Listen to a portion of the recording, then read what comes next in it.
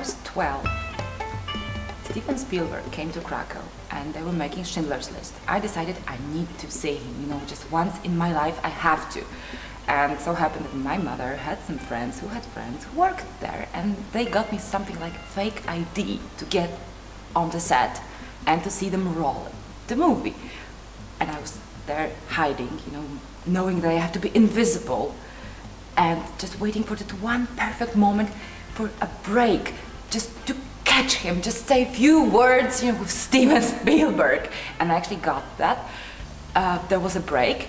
Uh, he decided he can talk with me and suddenly I had like interview that I recorded. I had my t-shirt signed by him and he was so amazed by it. He said like, I never signed a t-shirt. And his face was like, I'm a rock star. He took my color markers and signed it all, but it was wet, so he put it on the table, took his lamp and started drying it. He said, we have to wait for it to dry. So we're waiting and waiting and the time passes.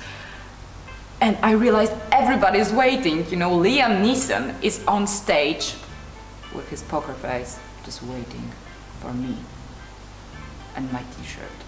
It was like half an hour, but I got this t-shirt signed by Steven and we were all so happy, you know, like children.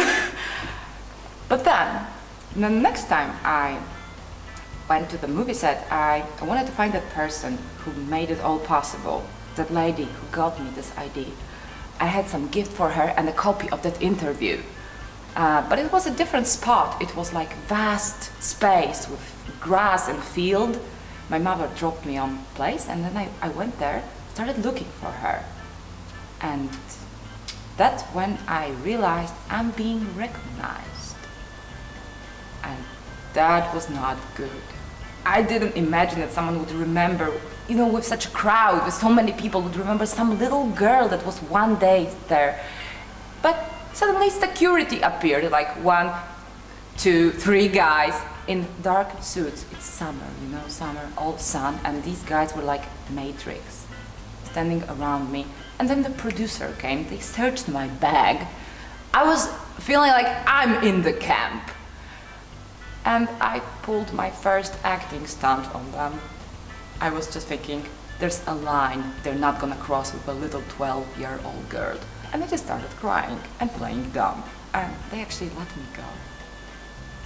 So that was my biggest acting adventure when I was 12.